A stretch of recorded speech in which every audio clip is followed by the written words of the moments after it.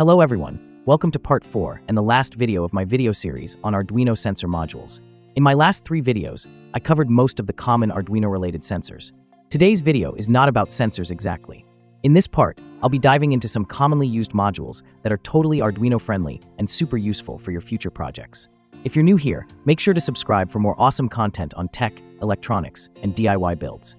Alright, let's start the video. This 0.96-inch OLED display module is a compact and high-contrast screen, often used in Arduino and other microcontroller projects. I showed 16 by 2 LCD modules in my previous video. Unlike these traditional LCDs, this tiny OLED module doesn't need a backlight because each pixel emits its own light, resulting in deeper blacks and better visibility, even in low light. It usually comes with a resolution of 128 by 64 pixels and communicates using either I2C or SPI, being the most common and easiest to connect. The display runs on 3.3 to 5 volts, making it fully compatible with most development boards.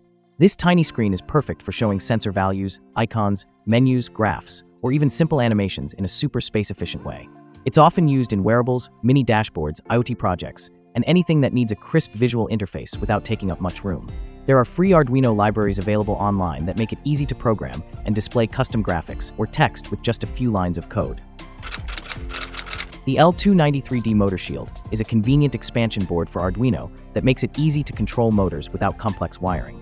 It's based on the L293D dual H-bridge motor driver IC, and it can control up to two DC motors or one stepper motor, with individual speed and direction control for each. As this module consists of two L293D ICs, it can control four different DC motors and two stepper motors. The shield stacks directly on top of the Arduino Uno and uses standard Arduino pins, making setup simple and clean. It supports PWM for speed control and allows an external power supply for motors that need more current than the Arduino can provide. There are also extra connections on the shield for servos and even some sensor inputs. This is also a motor driver module based on the L298 dual H-bridge motor driver IC, which can control two motors independently with both speed and direction. The module can handle voltages from 5 to 35 volts and provide up to 2 amps of current per channel, making it suitable for small to medium-sized motors. The module consists of a single L298 IC, so it can only control two individual DC motors. That's the main difference between two of these motor driver modules. Apart from this, both are solid choices for beginners working on robotic cars, basic automation, or other motorized projects.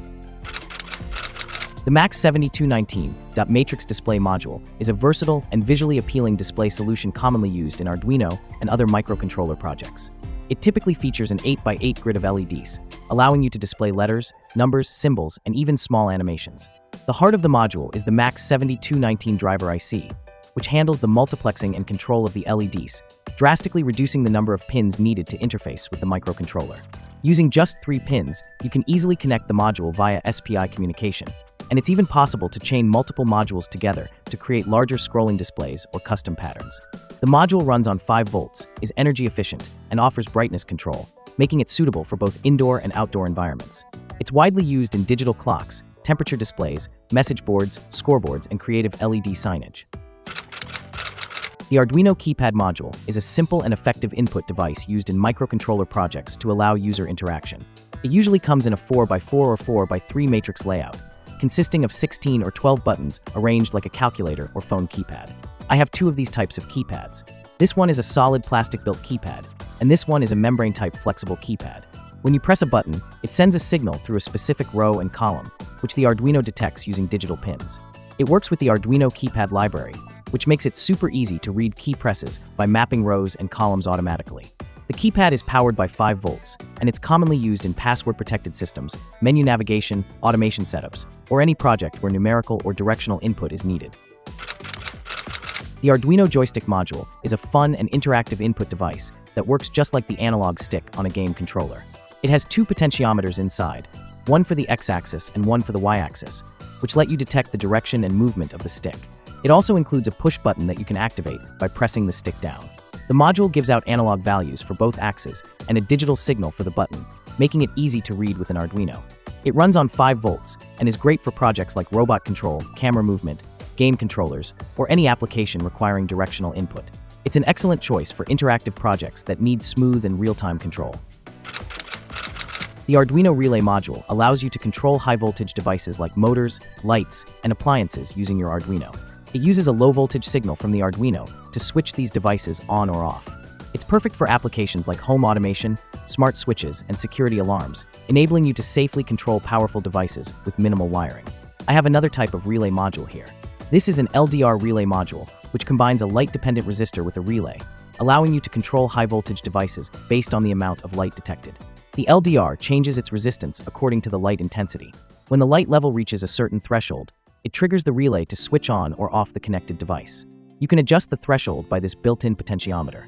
This LDR module is perfect for projects like automatic lights, solar-powered systems, or light-sensitive applications. A solenoid lock is an electronic locking mechanism commonly used in security systems, such as smart locks or access control systems. It works by using an electromagnetic solenoid to move a metal rod or bolt, locking or unlocking the mechanism. When 12 volts DC is supplied to the solenoid, it generates a magnetic field that pulls or pushes the locking mechanism to either lock or unlock it. Solenoid locks are commonly used in doors, cabinets, and electronic safes, and are a reliable choice for projects that require secure access control. That's all for today. Thank you for watching. I hope you found this video series helpful and picked up something new about Arduino sensors and modules. If you did, make sure to give it a thumbs up, subscribe, and share it with your fellow tech enthusiasts. In my upcoming videos, I'll be diving deeper into these modules one by one, showing you how to use them in real projects. So, stay tuned, and I'll catch you in the next video.